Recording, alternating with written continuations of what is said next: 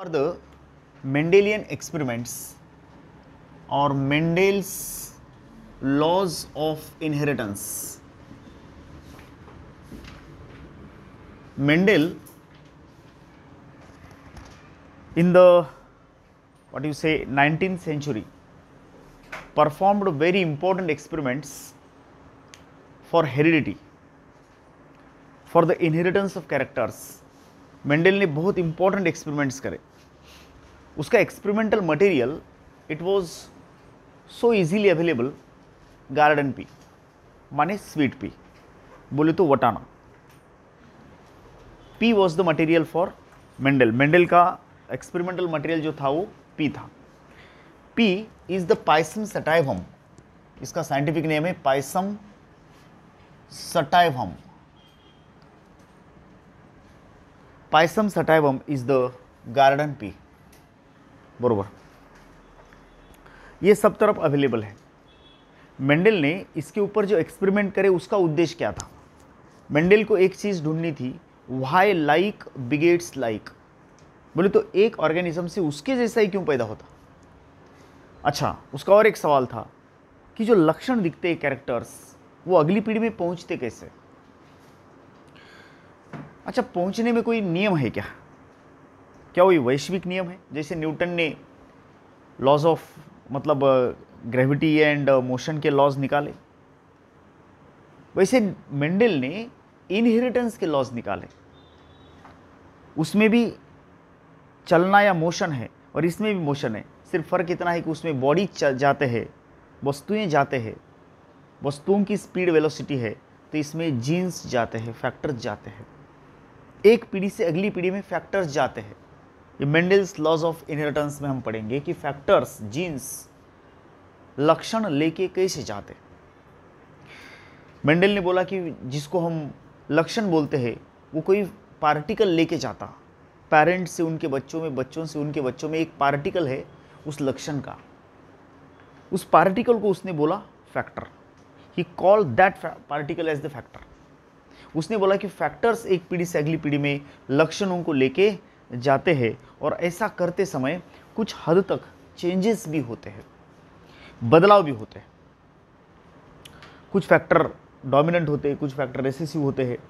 All this things तो ये सब मतलब कैसे होगा? जब तक आप अगली पीढ़ी नहीं देखते, लक्षण कैसे जा रहे हो कैसे देखेंगे? हम बोल रहे heredity is the transfer of characters from one generation to next means you have to produce the next generation आपको अगली पीढ़ी बनानी पड़ेगी। तभी तो आप बोलेंगे कि लक्षण कैसे जाते हैं? ऐसे कई पीढ़ियाँ बनानी पड़ेगी तो लक्षण का ट्रेंड आपको नज़र आएगा कि how the character will transfer लक्षणों का ट्रेंड नज़र आएगा कि लक्षण कैसे जाते हैं। इसके लिए पीढ़ियाँ बनानी पड़ेगी। तो भाई, हमारे एक जीवन काल में हमें दूसरे लाइफ के, दूसरे जीवन के कई अगर जनरेशन्स देखने हैं तो जो एक्सपेरिमेंटल मटेरियल दूसरा लेंगे उसका लाइफ स्पैन शॉर्ट चाहिए। और इसीलिए मेंडल ने पाइसम सटाइवम चुना, जिसका जो लाइफ स्पैन है, इसका जो लाइफ स्पैन है, इसका जो एवरेज एज है, वो है सिर्फ़ चार महीना फोर मंथ्स चार महीने में इसका पूरा लाइफ स्पैन ख़त्म हो जाता है। इसको फ्लावर आना, फली आना, बढ़ना, सब कुछ ख़त्म इन फोर मंथ्स फोर मंथ्स में सब कुछ फिनिश हो जाता है। ओके अब वटाना तो चुना। पी प्लांट में मिंडल ने चौदह जातियाँ ली, फोर्टीन। सात लक्षणों की चौदह जातियाँ। पी प्लांट में मिंडल ने फोर्टीन फोर्टीन जो स्ट्रेन्स है, fourteen strains of pea fourteen pea की जातियाँ। Fourteen pea for seven characters Mendel ने वटाने में सात लक्षण चुने, सात लक्षणों की चौदह जातियाँ। चौदह वटाने के प्लांट्स अभी सात और चौदह का क्या मतलब है? एक कैरेक्टर में दो ट्रेड्स उसने ढूंढे। कैरेक्टर एक ट्रेड दो। अभी कैरेक्टर और ट्रेड में डिफरेंस को रंग कैरेक्टर है, गोरा और सांवला, ये ट्रेड है। अब हमारा एक कैरेक्टर कोई ट्रेड्स बताता। जैसे कि कलर इंसान का कलर इज़ अ कैरेक्टर गोरा पान, गोरा, सांवला, काला काला भर। ये क्या है? ये ट्रेड्स है। लेकिन कितने हैं? बहुत ज़्यादा है। मेंडेल को वटाने में ऐसा नहीं चाहिए था। उसको एक कैरेक्टर और सिर्फ़ दो ट्रेड चाहिए थे। He manifested he searched seven characters each with only two traits and those two traits were contrast to each other जो दो ट्रेड्स वो चुनता था एक कैरेक्टर के दो trait they were contrasting traits, contrasting characters, contrasting 2p. तो सात लक्षण और व्हाट यू से चौदह ट्रेड्स सात लक्षण और चौदह ट्रेड्स ये सब उसने वटाने में चुना और ख़ास तौर पे उसने हर कैरेक्टर के लिए दो, जो दो ट्रेट है, वो ऐसे चुने कि वो exactly opposite to each other है। They were exactly opposite to each other वो एक दूसरे को पूरी तरह से अपोजिट होना चाहिए। उसने ये भी देखा कि मैं जो दो कॉन्ट्रास्टिंग कैरेक्टर चुन रहा, जब उनको क्रॉस किया जाए तो अगली हाइब्रिड वैरायटी में सिर्फ़ एक ही ट्रेड दिखेगा और एक ट्रेड छिप रहा है। जो दिख रहा है, उसको उसने डोमिनेंट ट्रेड बोला और जो छिप रहा है, उसको रेसेसिव ट्रेड बोला। ये डोमिनेंट और रेसेसिव उसने पहली पीढ़ी में ही निकाला। हर कैरेक्टर में उसने क्रॉस करा। मैं वो आपको बताता किस तरह से। पहले कैरेक्टर्स की लिस्ट लेते हैं। कैरेक्टर्स उसके बाद डोमिनेंट ट्रेट और उसके बाद रेसेसिव ट्रेट इनके नोटेशंस भी आप याद रखेंगे अल्फ़ाबेट्स इसका बहुत काम आता है आगे। आगे बहुत काम पड़ता है इनका। सो डोमिनेंट और रेसेसिव का मतलब क्या है? कि हम अगर सपोज़ टॉल एंड डॉर्फ में क्रॉस कर रहे तो पहली पीढ़ी F1 में जो लक्षण दिखेगा वो डोमिनेंट टॉल पी और डॉर्फ पी में क्रॉस करे। एक का पोलन, दूसरे का स्टिग्मा जिसका स्टिग्मा लिए उसका पोलन कैंसिल करे, उसके एंथर्स काट के फेंक देते हैं। उसको बोलते हैं एमेस्कुलेशन आगे देखेंगे। तो पहली पीढ़ी में जो लक्षण दिखेगा it will be dominant character it is said to be dominant character और जो नहीं दिखेगा, वो रेसिव कैरेक्टर क्योंकि जो F1 बनेगा सपोज़ टॉल बना तो इसको बनाने में 50 परसेंट इसका हिस्सा 50 परसेंट ही इसका हिस्सा है, और 50 परसेंट इसका शेयर है, हिस्सा है। तो ये लक्षण किधर गया? छिप गया। ये इसको छिपा रहा ये डोमिनेंट हुआ ये रेसिव हुआ। F1 से उसने निकाला। ऐसा इसने आ, मतलब सात बार सीधे सीधे सात अलग अलग क्रॉस करे उसने। तो पहले हम क्या करेंगे? कैरेक्टर्स की लिस्ट लेंगे। Latest take the list of characters what you say first character is suppose stem height stem height मानी ऊँची। स्टेम हाइट ये कैरेक्टर है। पूरे वटाने की जाति में स्टेम हाइट के दो ही ट्रेट है। दो ही ट्रेट है। स्टेम हाइट के दो ही ट्रेट से one is the tall height, second is the dwarf height. जब उसने टॉल और डॉर्फ वटाना पी प्लांट में क्रॉस किया था, एक का पोलन, दूसरे का स्टिग्मा, किसका भी पोलन, किसका भी स्टिग्मा लो, कोई फ़र्क नहीं पड़ता। तब उसको मिला कि जो पहली हाइब्रिड पीढ़ी मिल रही, उसमें तो एक ही हाइट दिख रही। हालाँकि जब टॉल एंड डॉर्फ में क्रॉस करने वाला था मेंडल तो करने से पहले उसने सोचा था कि शायद मुझे ब्लेंडिंग इनहेरिटेंस मिलेगा। ब्लेंडिंग इनहेरिटेंस, बोले तो मिक्सड कैरेक्टर मिलेगा। टॉल छः फुट। डॉर्फ, तीन फीट। तो शायद मुझे साढ़े चार फीट या चार फीट का मीडियम टॉल वाला पी प्लांट मिलेगा, ये उसका अंदाज था। इसको बोलते ब्लेंडिंग इनहेरिटेंस अंदा, उसका अंदाज था ये। हर साइंटिस्ट एक्सपेरिमेंट से पहले ही नतीजा निकालता है। इमेजिनेशन से। वैसे इसने भी निकाला। लेकिन असल में जब एक्सपेरिमेंट हुआ सो यू आर शॉक्ड कि मैंने तो टॉल एंड डॉर्फ में क्रॉस किया था। यहाँ तो एक ही कैरेक्टर एक्सप्रेस हो रहा। एक पूरी तरह से छिप रहा है। नहीं छिपाया जा रहा है, एक मास्क हो रहा है, नहीं, एक कैरेक्टर दूसरे को मास्क कर रहा है, ढक रहा है, उसका अस्तित्व दिखने नहीं दे रहा। सीधी बात बाद में सामने आई कि उस जीन का एंजाइम इनएक्टिव है या बन ही नहीं रहा, जो रेसेसिव है। ये बात ऐसी है कि बाबा एक बच्चे साथ में आए खेलने को, कुछ अवकाली बच्चे होते हैं। और कुछ शांत। शांत बच्चे अपने माँ बाप के सामने तो कुछ जबान खोलते हैं, कुछ तो मांगते हैं। लेकिन अवकाड़ी के साथ में अगर आते हैं तो पूरा दिन वो शांत रहते हैं। उनके माँ बाप चिल्लाते हिचा ह्याच्यासोबत खेळायचं नाही तुझी बोलतीच बंद व्हायली कुछ बच्चे ना, वो अवकाड़ी जो बच्चे हैं, उनके साथ में बात ही नहीं करते क्यों? वो डर रहे हैं। मतलब वो डोमिनेंट है, ये रेसेसिव है। ऐसा बड़े लोगों के बारे में भी होता ना। कुछ कुछ जो लोग होते हैं ना, बड़े, है ना, झूठ बोलेंगे, लेकिन ज़ोर से बोलेंगे, लेकिन झूठ बोलेंगे। नहीं? तो जो शांत वाले लोग हैं, उनसे अनकंफर्टेबल फील करते हैं। They feel uncomfortable they will not say anything कुछ बोलते ही नहीं, भाई, तू ही बोल, जान दे। मैं अपना शांति अच्छा हूँ। मतलब उसने इस पर प्रभाव डाला नहीं, उसने इसको पूरी तरह से दबा दिया। ऐसा बच्चों से लेकर के, बड़ों से लेकर के, देशों तक कंट्रीज़ तक यही मामला है। सब तरफ़ यही मामला है। जैसे चाइना जो है, वो दूसरे देशों को दबाता है तो चाइना डोमिनेंट है। म्यांमार, वियतनाम, ये देश उसके पड़ोसी है। ये हो गए रेसेसिव बेचारे कुछ नहीं बोल पाते। इतने बड़े चाइना के सामने क्या बोलेंगे?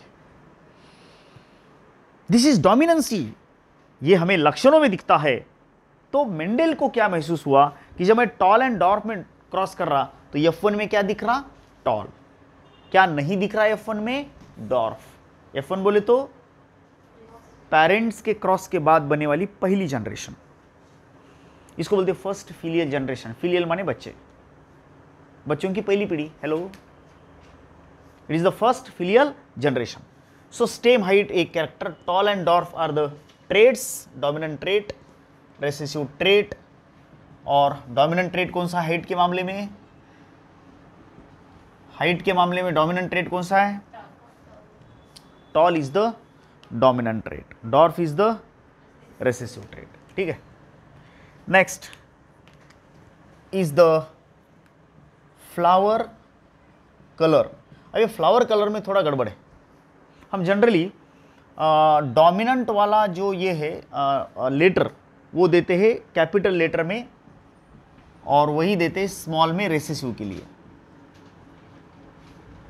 डोमिनेंट का पहला letter is use as the letter for character height के लिए लेटर इस्तेमाल किया टी डोमिनेंट टॉल हाइट के लिए capital T recessive dwarf height के लिए स्मॉल टी अब कोई बताएगा मेरे को डॉर्फ हाइट को रेसेसिव क्यों बोला? क्योंकि जब टॉल एंड डॉर्फ को क्रॉस किया तो पहली पीढ़ी में टॉल दिखा और डॉर्फ नहीं दिखा, इसीलिए dwarf is recessive and tall is dominant. ऐसा उसने सात लक्षणों के लिए अलग अलग से किया। बरोबर है? देखो, कितने कैरेक्टर चुने? सात। वटाने में कैरेक्टर कितने हैं? नहीं, कैरेक्टर मेनी है मेनी है। उसने कितने चुने? सात। पर्पजली चुनते समय उसने ध्यान कौन सा रखा? कि लक्षण में दो ही ट्रेट होना और दोनों ट्रेट एक दूसरे को अपोजिट होना। कॉन्ट्रास्ट होना। एक टॉल है तो एक डॉर्फ है, एक वायलेट है तो एक वाइट है। पॉड के कलर में एक ग्रीन है तो एक येल्लो है। सीड के शेप में एक राउंड है तो एक रिंकल्ड है। सीड के कलर में एक ग्रीन है तो दूसरा येल्लो है। फ्लावर पोजीशन में एक एक्सिलरी है तो एक टर्मिनल है। हर कैरेक्टर में उसने कंट्रास्ट देखा ज़्यादा हो। कैरेक्टर कैटेगरी है। ट्रेट डायरेक्ट लक्षण है। Okay variants of the character are the traits variants of character character के जो वेरिएंट्स है, वो ट्रेट होते हैं। नहीं समझ में तुम्ही नेल पॉल सॉरी तुम्ही नेल पॉलिश नाही। तुम्ही नेल पॉलिश घ्यायला गेले? अरे जाता कि नहीं? जातो ना। जनरल स्टोर कॉस्मेटिक्स के लेडीज़ एम्पोरियम वगैरह। और उसको आप मांगते नेल नेल पेंट दो भाई। भाई, नेल पेंट दो। तो आपको वो पूछता है, भाई, कौन से कलर का? तुमनं मागितलं लाल द्या रेड तो एक्चुअली वो आपके सामने रेड का डब्बा रखता है। तो आप बोलते, ओ भाई साहब, मुझे दुकान नहीं चाहिए, एक रेड चाहिए। तो बोलता, मैं यही दे रहा, आप इसमें से एक सेलेक्ट करो। सो व्हाट इज़ दिस ये रेड की फैमिली है this the family of red you select one of them बाकी मेरे लिए छोड़ दो आप। एक अपना अपना ले लो। व्हाट इज़ दिस ये वेरिएंट्स है। अगर ऐसा हुआ कि आपने येल्लो मांगा और उसने दो ही येल्लो रखे आपके सामने। डार्क येल्लो फेंट येल्लो लेना है तो लो नहीं तो जाओ। कभी कभी ऐसा भी होता है। हम मांगते, भाई येल्लो दे दे। लो yellow this is lemon yellow that is sun sun yellow हाँ? लेना तो लो, नहीं तो जाओ। हम उनको कुछ तो कमेंट्स देते भाई ये बहुत है। कभी कभी कमेंट बोलने की ज़रूरत नहीं रहती भाई एक्शन भी काफ़ी कुछ बोल देता है। काम करता हूँ बोल तो तू दुकान का नहीं, कहीं काहीच कामाचं नाही बेकार है तो दुकान। तो जो दुकानदार हमारे सामने वेरिएंट्स ऐसी है ना लाइन लगा देता। हम थक जाते कंफ्यूज हो जाते। कभी भी देखो, घर से निकलते समय वेरिएंट पक्का अपने दिमाग में चाहिए कि मुझे कौन सा चाहिए। वहाँ पे जाके लास्ट को आप दुकानदार के मन पे ही लेते हैं। वो इतना कंफ्यूज कर देता आपको। ड्रेस भी खरीदना है तो पहिले डिसाईड करू, मुझे कोणसा चाहिए। तिथं जाता आम्ही शेवटी त्यालाच म्हणता, तुम्हाला कोणतं बरं वाटाले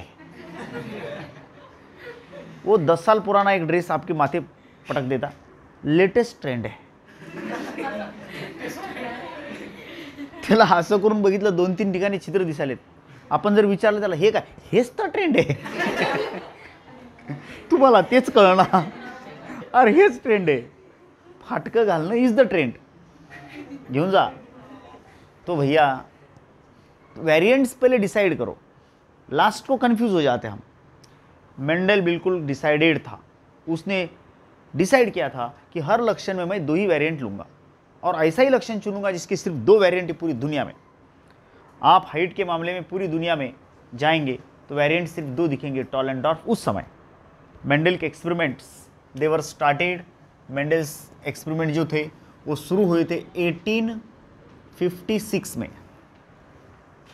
ओके और ख़त्म हुए थे 1863 में।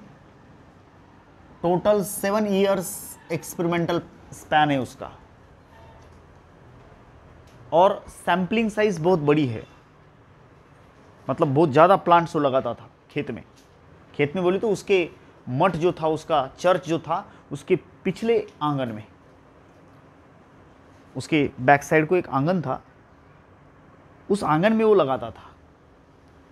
तो पहले सात कैरेक्टर को लिखेंगे। स्टेम हाइट स्टेम हाइट में दो कॉन्ट्रास्ट कौन से? Toll and dwarf. डोमिनेंट कौन है? टॉल। रेसिव कौन है? डॉर्फ। डोमिनेंट को कौन से लेटर से बताते हम? डोमिनेंट ट्रेट का पहला लेटर।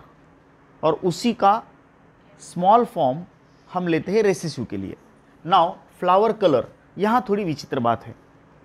फ्लावर कलर है वायोलेट। फ्लावर कलर दो है। एक प्लांट के फ्लावर्स वायोलेट है और दूसरे के वाइट है। वायोलेट एंड वाइट अब नियम के हिसाब से यहाँ क्या चाहिए था? वी लेटर लेना चाहिए था।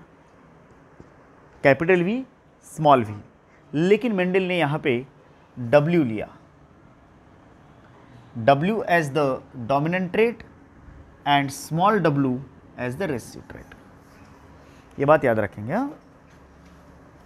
फ्लावर कलर कौन से? वायलेट एंड वाइट डोमिनेंट का लेटर कौन सा है? कैपिटल डब्ल्यू रेसिसिव का लेटर कौन सा है? स्मॉल डब्ल्यू फ्लावर कलर ये हो गया. नाउ फ्लावर पोजीशन दो है. एक है axillary denoted by capital A और एक है terminal denoted by small A okay next pod colour शेंगेचा रंग ये शेंग पॉड ये सॉरी एक्जिलरी और टर्मिनल कैरेक्टर में यहाँ थोड़ा सा आपको बताने की कोशिश करता। एक्जिलरी जो डोमिनेंट है सपोज़ ये पी प्लांट है, और ये उसके पत्ते हैं। ये उसके पत्ते हैं सपोज़ ठीक है? तो ये लीफ एंड स्टेम के एंगल से कुछ फ्लावर निकलते हैं। तो ये हुआ एक्सिलरी पोजीशन ये एक्जिलरी फ्लावर पोजीशन है। फ्लावर ऐसा नहीं रहता। पी का मैं बता रहा और टर्मिनल जो है, वो इस तरह से है। डायरेक्ट यहाँ। The flower is coming right from the tip of the मतलब ये लीफ रहे। और फ्लावर स्टेम के टॉप से आ रहा है। टोका बसून याले टर्मिनल पोजीशन तो ये कैरेक्टर रेसेसिव है। अगर दोनों का क्रॉस करेंगे तो F1 जो होगी वो ऐसी होगी। This is the F one ये एफ़ वन है। ये एफ़ वन है। मतलब जब आप axillary cross with terminal then will get the F one as axillary so axillary is dominant and terminal is recessive बात समझे? इसका नोटेशन क्या इस्तेमाल किया? Capital A and small A बाकी के लिए डोमिनेंट का ही पहला लेटर है। As the first letter capital letter for dominant small letter for recessive next pod colour यहाँ पे ग्रीन पॉड कलर जो है, वो डोमिनेंट है। और इसका लेटर है capital G yellow pod colour is recessive small G pod colour pod shape pod shape. ये पॉड शेप का मतलब क्या होता है मैं समझाता आपको. पॉड शेप का मतलब है शेंगेचा आकार शेंग पूर्णपणे वाळल्याच्या नंतर. आणि शेंगेचा कलर शेंग पूर्णपणे वाळल्याच्या नंतर. हे दोन्ही वाळल्याच्या नंतरचे कॅरेक्टर आहेत. फल्ली सूक गई. पॉड फल्ली fruit of the pea plant सूखने के बाद उसका कलर कौन सा? तो एक जात है, ग्रीन पॉड, और दूसरी जात है येलो पॉड। सूखने के बाद उसका शेप कौन सा? तो एक जात है वटाने की, कि वो फली स्ट्रेट रहती है। इसको बोलते हैं inflated pod that we call it as the inflated pod जो डोमिनेंट कैरेक्टर है। Inflated pod it is represented by capital I and constricted pod constricted pod जो हम बताते bye small letter that is small R okay six is seed colour character का नाम seed colour character का नाम सगा है? सीड कलर तो सीड कलर दो है। ये सीड कलर भी सीड सूखने के बाद के है। कच्चे अवस्था में सारे सीड ग्रीन ही नज़र आएँगे ना भाई? कच्ची अवस्था में सारी फलियाँ ग्रीन ही नज़र आएँगी। और कच्ची अवस्था में सारी फलियाँ स्ट्रेट ही नज़र आएँगी। ये पूरी पकने के बाद, सूखने के बाद उसका क्या मतलब असर दिखता है, वो हम देख रहे हैं। तो जो सीड है, दाने हैं, उस फली के जो सीड्स है, सूखने के बाद हमें दो कलर के कलर्स हमें मिलते हैं। इट इज़ येल्लो अच्छा ये जो कलर है ना, वो सीडकोट कलर नहीं है। हेलो यहाँ भी कन्फ्यूज़न है। कॉटिलेडॉन कलर है। Not the coat colour but the cotyledon colour seed colour stand for cotyledon colour cotyledon म्हणजे दल। दाल दाल। उसकी जब दाल बनाएँगे, आप दो हिस्से बनाएँगे एक सीड के। तो उसका कलर क्या है? तो एक जात है जिसमें येल्लो सीड रहते हैं। Yellow seed colour yellow represented by capital Y इसका मतलब ये डोमिनेंट है। And green represented by small Y ये रेसेसिव है। And last is seed shape seed shape seed shape के मामले में फिर से हमें दो कॉन्ट्रास्ट मिलते हैं। कॉन्ट्रास्टिंग लक्षण ट्रेड्स मिलते हैं। एक है राउंड सीड शेप इसका मतलब है गोल seed round seed represented by capital R and the wrinkled seed wrinkled seed represented by small R तो आप देख सकते हैं यहाँ पे कि सात लक्षण चुने हमने। कितने लक्षण लिए? हेलो लक्षण कितने लिए? सात। How many characters we selected seven seven characters में ट्रेड्स कितने हैं? फोर्टीन तो पेड़ कितने लेने पड़ेंगे हमको? प्लांट्स कितने लेने पड़ेंगे? फोर्टीन हर ट्रेड का एक. हर कैरेक्टर में कितने प्लांट दो. तो ये पी लाइन्स हम लेते हैं. दो प्लांट बोल तो संख्या में दो नहीं, प्रकार में दो. Suppose this the line of tall this the line of dwarf suppose I have taken tall pure line. Pure line का मतलब पिछले पाँच छः जनरेशन से सेल्फिंग ही हो रहा है उसमें। और वैसे भी इसकी फैमिली फैबेसी है। एंड आप मॉर्फोलॉजी ऑफ़ फ्लावरिंग प्लांट पढ़ चुके हैं, जिसके अंदर फैबेसी फैमिली हमने देखा है कि वो सेल्फ पॉलिनेटेड नेचुरली उसके लास्ट के पेटल कील पेटल होते और उसके अंदर दस स्टेमन्स और एक स्टिग्मा है, जो बंदिश है क्लोज है फ्लावर क्लोज है क्लिस्टोगैमस है। सेल्फ पॉलिनेशन कंपलसरी होता है क्रॉस पॉलिनेशन होता ही नहीं है। हमने किया तभी होगा। हमने फ्लावर खोल करके, उसके स्टेमन काट करके, उसका एंड्रोशियम काट करके, बाहर के पोलन को ला करके हमारे हाथ से अगर स्टिग्मा पे डालेंगे तो क्रॉस पॉलिनेशन होगा। उनके मन से नहीं होगा cross pollination pea is naturally self pollinated plant ये भी एक कारण था कि उसने पी क्यों चुना? Why Mendel selected pea plant उसका एक बड़ा कारण है कि pea is naturally self pollinated but its cross pollination is very easy वो तो सेल्फ पॉलिनेटेड है। क्या फ़ायदा सेल्फ पॉलिनेशन का? Pea plant naturally self pollinated इसका फ़ायदा क्या हुआ? इसका मतलब क्या हुआ? कि जो भी लक्षण के लिए हम चुनेंगे, वो लक्षण प्योर होगा। अडल्ट्रेशन नहीं होगा, उसके अंदर मिक्सिंग नहीं होगा। भाई, आपने टॉल टॉल के लिए चुना है तो प्योर टॉल होगा। कैपिटल टी कैपिटल टी वाला tall not capital T small T वाला टॉल क्योंकि टॉल एंड डॉर्फ को क्रॉस करने के बाद आपको जो पहली पीढ़ी टॉल मिल रही, वो प्योर टॉल थोड़ी है, वो हाइब्रिड टॉल है। क्योंकि उसका एक पेरेंट डॉर्फ है। दिख रहा लक्षण टॉल क्योंकि डोमिनेंसी है। लेकिन एक जीन एक अलील एक फैक्टर तो डॉर्फनेस का है उसके अंदर। इट इज़ इम्प्योर टॉल वह शुद्ध टॉल है, वह हैब्रिड टॉल है। ओके?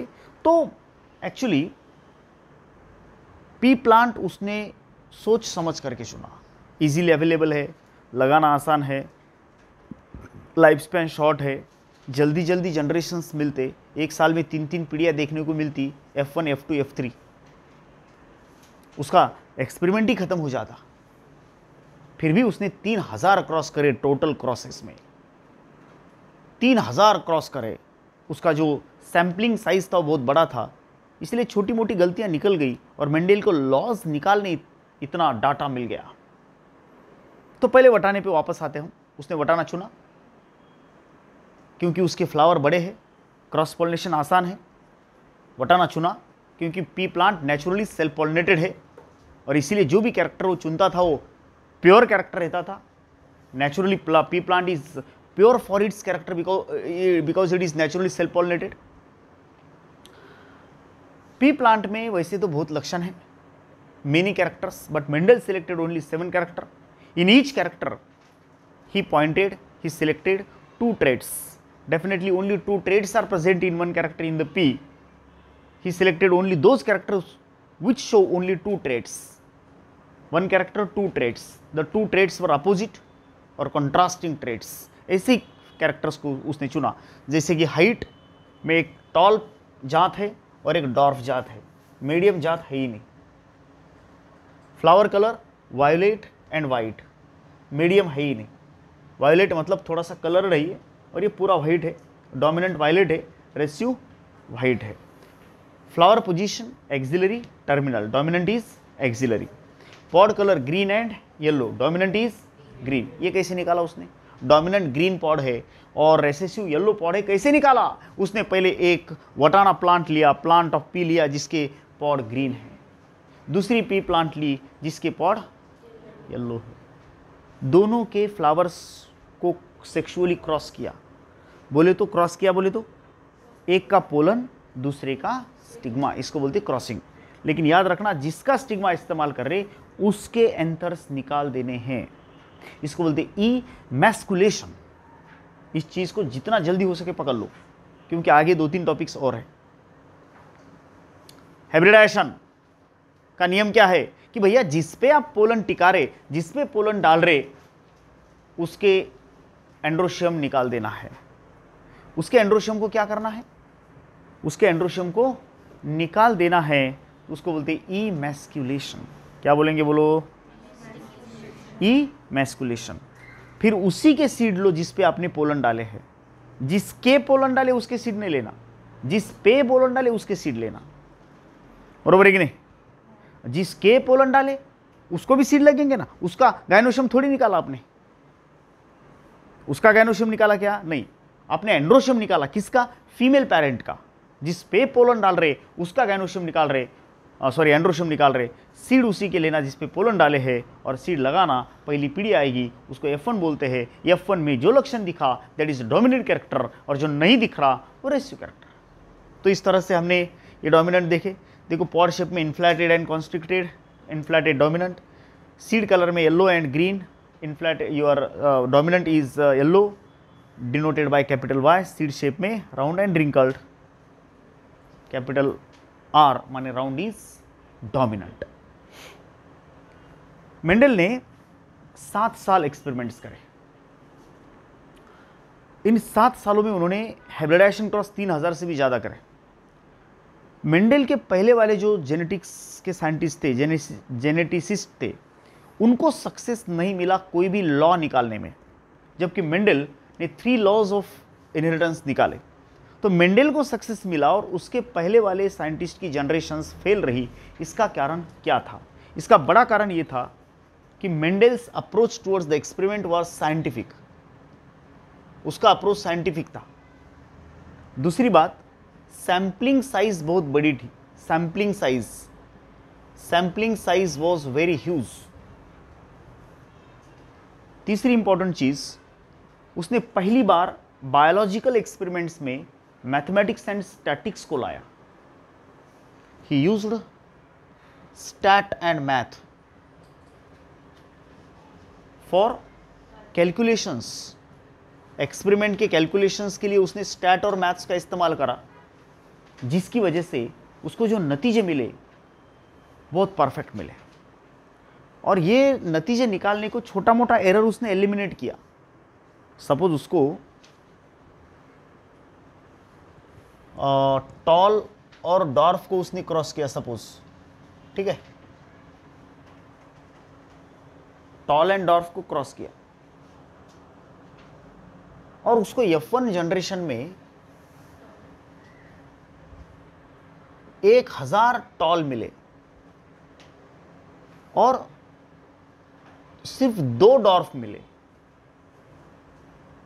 तो उसने इस दो को ज़ीरो लिया मतलब ज़ीरो समझा और बोला कि हमें हंड्रेड परसेंट सिर्फ़ टॉल मिले। इस दो को उसने कैंसिल कर दिया। ये उसका दिमाग था। अगर दूसरा कोई होता तो यहाँ पे कंफ्यूज होता था। हज़ार एंड दो का वो रेशो निकालते बैठता था। नियम नहीं निकल पाता था। नियम क्या बोलता है कि भैया F1 में एक ही लक्षण दिख रहा है। मेंडल का नियम ये बोलता है। एक ही लक्षण दिख रहा है मतलब हज़ार के हज़ार एक ही कैरेक्टर क्यों ना मतलब एक हज़ार दो जो है वो एक कैरेक्टर कौन? यहाँ पे दो अगर अलग लक्षण के दिख भी रहे तो मेंडल ने उस दो को नहीं कैलकुलेट किया। निधि, बरोबर की नाही? छोटे मोठे सोडून द्यायचे हो। छोट्या मोठ्या पॉइंट्सला त्यांनी पकडलंच नाही, उसने छोड़ दिया. जैसे कि दूसरी जनरेशन में उसको 75 फाइव टू ट्वेंटी फाइव मतलब थ्री टू वन रेशो मिलना था मोनो हाइब्रिड क्रॉस में. थ्री टू वन ये उसका रेशो था. हाँ. क्लिस्टोगैमस हाँ है ना.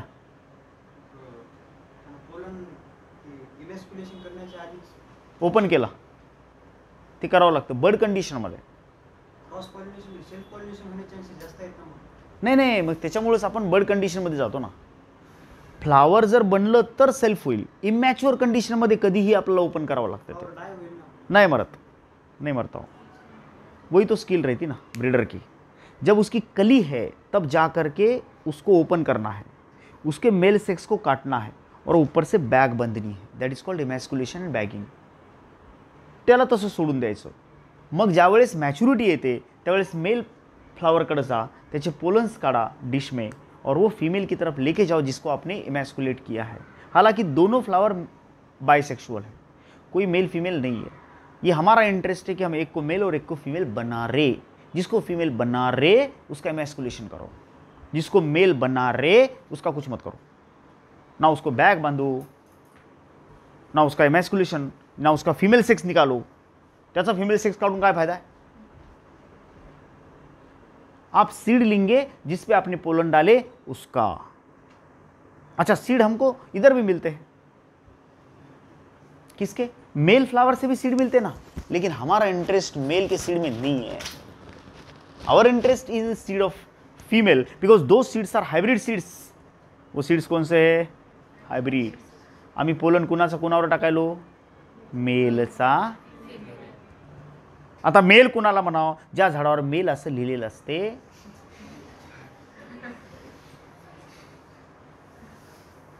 त्याला मेल म्हणाव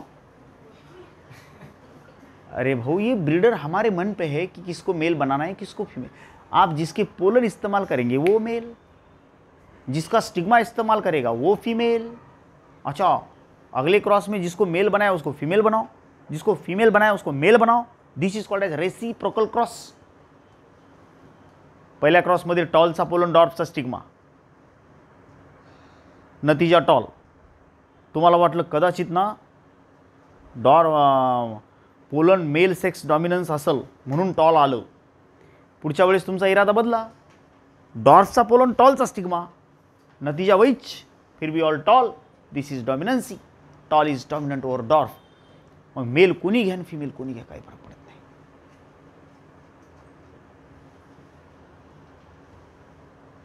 पडलं का? ॲक्च्युली माणसांमध्ये कुरळे case curly hair dominant over straight hair wife curly husband straight. लेकरं सगळे करली. काही लोकांना शंका आली. नाही मदरचं लक्षण आलं असेल. चेंज नाही त्या कपलला तसंच ठेवा. दुसरं कपल चेंज करा. पुढच्या एक्सपेरिमेंटमध्ये नाव हजबंड करली आणि वाईफ स्ट्रेट लेकरं सगळे करली. म्हणजे हजबंड असेल करली का वाईफ असेल करली? लेकरं निघणार करलीच. काही लोक म्हणली सर दोन्ही करली असतील तर? नाही फक्त केसच की ते वाकडे तिकडे होतात लेकरं. नाही फक्त केसच. भाई डॉमिनंट इज डॉमिनंट उसमें क्या है? हस्बैंड ले आओ पे कोई फरक नाही पड़ता। हम्म? आत्ताच नाही नंतर. तो ये हुआ क्या हुआ ये? Dominance and recessive dominance and recessive Mendel ने 1856 से लेकर के तिरसठ तक एक्सपेरिमेंट्स करे। उसके बैकयार्ड में करे। बैकयार्ड में। Mendel actually he was a scientist teacher teacher of maths he was the coworker of Doppler in physics Doppler का को वर्कर है वो। उसका जो बेस था वो साइंस साइंस था, लेकिन उसको ज़बरदस्ती से प्रिस्ट बनाया गया, धर्मगुरु, जिसमें उसका बिल्कुल इंटरेस्ट नहीं था। और उसने सेवन ईयर्स तक एक्सपेरिमेंट करे।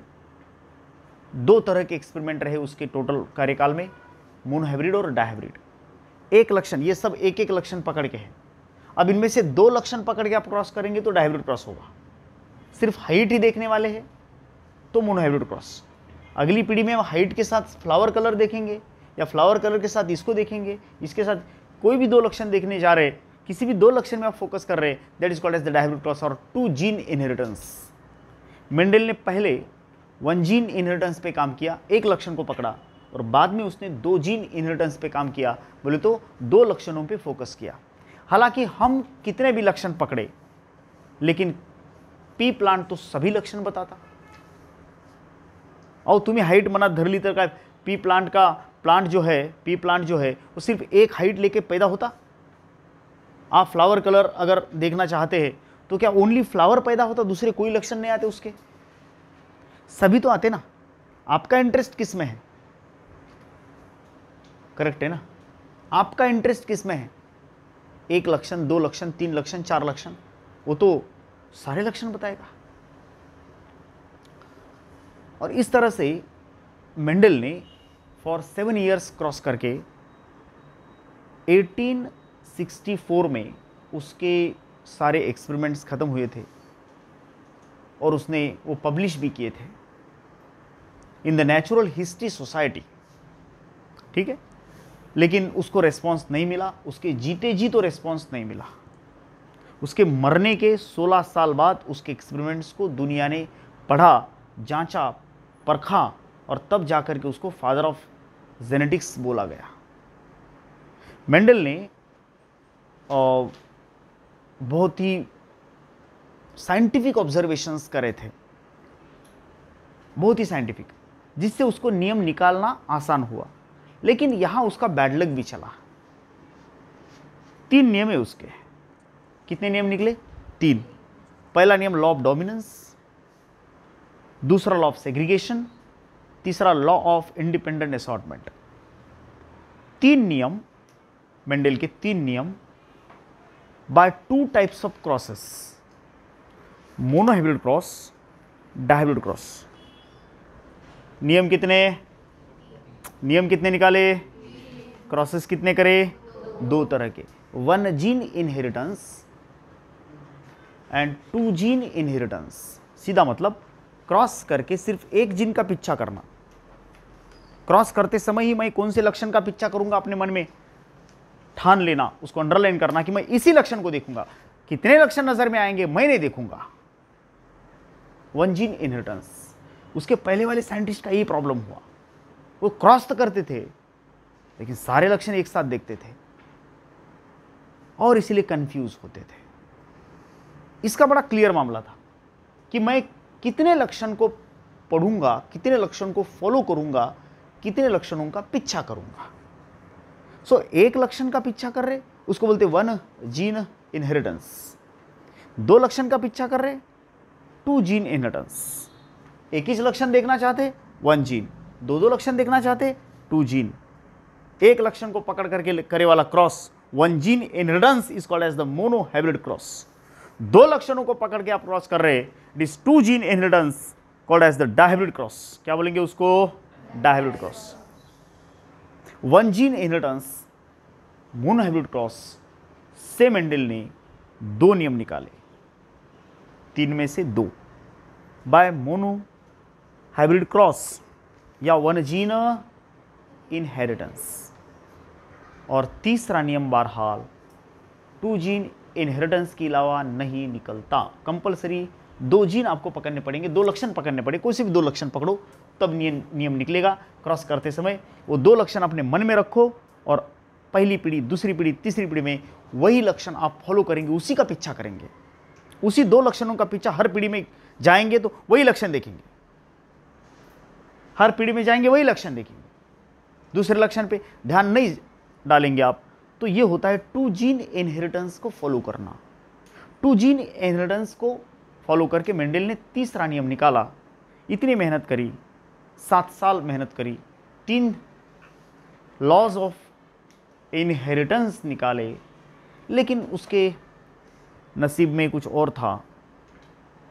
पहला नियम जो निकाला उसने, पूरी बायोलॉजी के लिए वो नियम लगाए थे उसने। सिर्फ़ वटाने के लिए नहीं, वटाना तो सैंपल था। इनहेरिटेंस के नियम उसने पूरी बायोलॉजी के लिए लगाए थे।